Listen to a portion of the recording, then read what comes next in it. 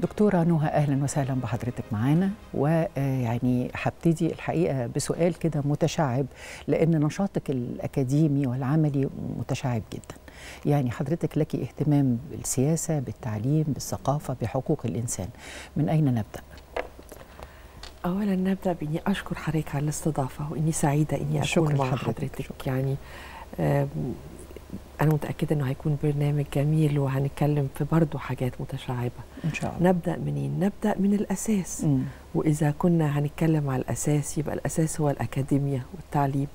فلو حضرتك سمحتي لي إننا نبدأ بالتعليم وإننا نبدأ نش- بالتعليم. ونشوف يعني اختيار جيد. وعايزة حضرتك تربطيني ما بين التعليم وبين حقوق الإنسان. والثقافة. مم. يعني أنا بقلق قوي لما الناس تتكلم عن التعليم وكأنه التعليم مناهج أو كتب مدرسية بس وينسوا إنه التعليم هو ثقافة هو حالة عامة للمجتمع فهنا التعليم هو إذا صح التعليم هيصح حقوق الإنسان والمواطن.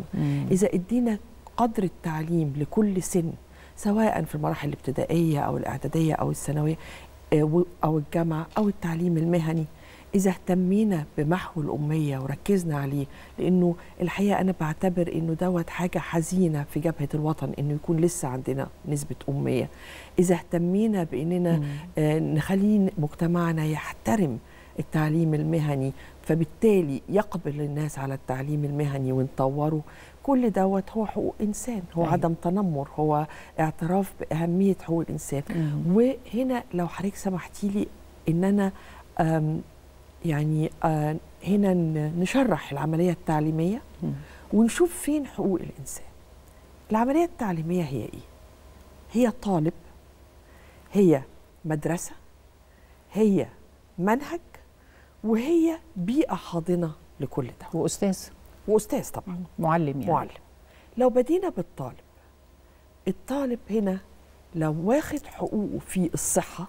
يعني ما تقدريش تجيبي حضرتك طالب مش فطران الصبح مش واخد مش متغذي صح وتبعتيه المدرسة طفل. ما تقدريش تاخدي طالب بيعنف في البيت أو بيتم التنمر عليه في وسط مجتمعه وتبعتيه المدرسة وي- وي- ويبقى فيه مزيد من التنمر عليه ومفيش إدراك لإنه الطفل دوت من حقه إنه يعيش طفولته ويتمتع بالشمس والهواء وإنه مش المفروض إن أنا أكبله بمناهج ثقيلة جدا يرجع بيها لأهله فتدمر الأسرة.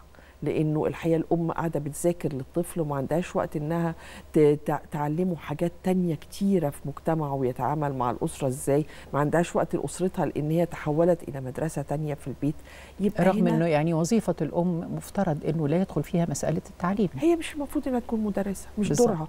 وما نعرفش هي عندها القدرات دي ولا لأ. فممكن أنا مش هنا مش بتكلم على تعليم يعني يتعلم الحساب ولا لأ. تقدر توصل له المعلومة ولا لأ؟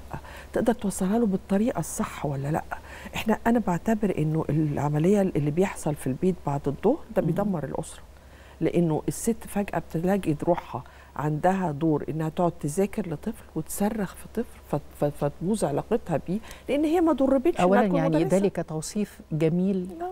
آه، لهذه الحالة يعني